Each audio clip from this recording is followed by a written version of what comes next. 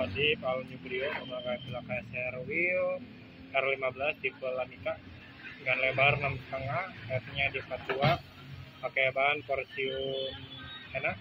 Ukurannya 185 ke 60 masih enak.